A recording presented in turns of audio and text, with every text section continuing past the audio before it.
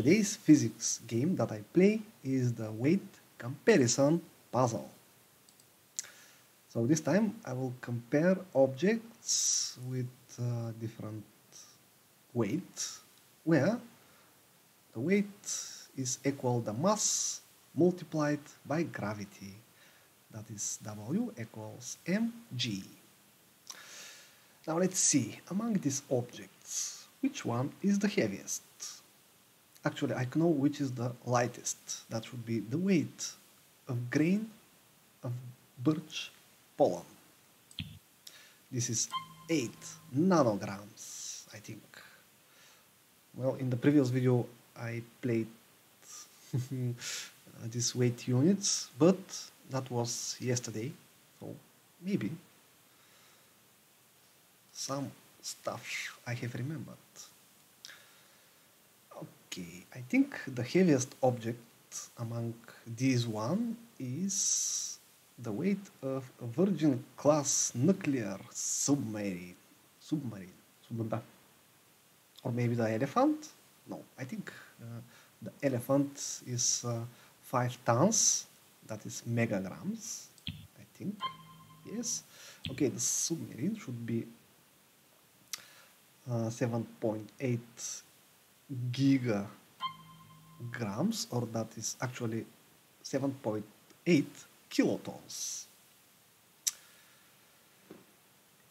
Now, uh, let's see, 20 kilograms. Wow, what is that? 200 kilograms. Ah, this should be the giant turtle. Yes, yes, yes, yes. Okay, 2 kilograms. Which one weighs kilograms. That should be the mass of a typical laptop computer. Yes. now what is 3 decagrams, I think. Uh, that should be the weight of one euro coin. Ah, no? Okay, so the coin is 8 grams. Ah, the mouse. The mouse is heavier than the coin. Yes, yes. So among these four, I think the pill is the heaviest.